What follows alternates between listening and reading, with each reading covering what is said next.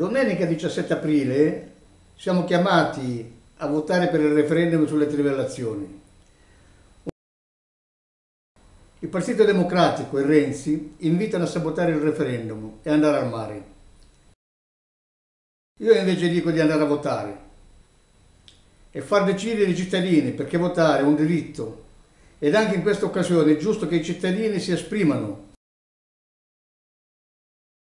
per non lasciare decidere i politici come è stato fatto con l'articolo 18.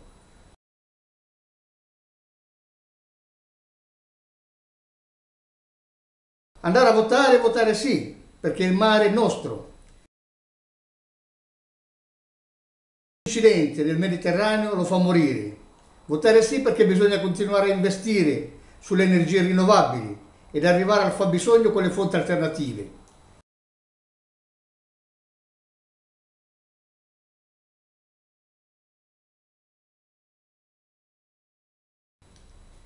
Sì, perché grazie alla magistratura e alle intercettazioni di questi giorni il coperchio è saltato e si è capito che questo governo lavora solo per i petrolieri, per i parenti e gli amici degli amici. Renzi attacca il referendum, voluto da sette regioni governate anche dal suo partito. Lo scopo è nascondere il ruolo delle lobby nel suo governo la verità è che in questo governo le lobby contano e dettano la linea, altro che autonomia di questo governo. Rossi, presidente della regione toscana, ieri, nella, nella, nella direzione del suo partito, ha detto che vota sì e dice bisogna tutelare sia gli interessi nazionali che i posti di lavoro, ma questo non si può fare assegnando concessioni vita naturale durante le trivelle.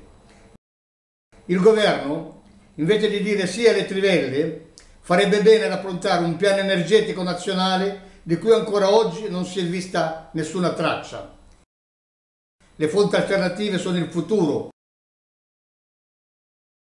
Sì, perché i nostri figli voterebbero sì. Quindi il 17 bisogna andare a votare sì, anche perché noi, l'Italia, abbiamo degli impegni con l'Europa e con tutto il mondo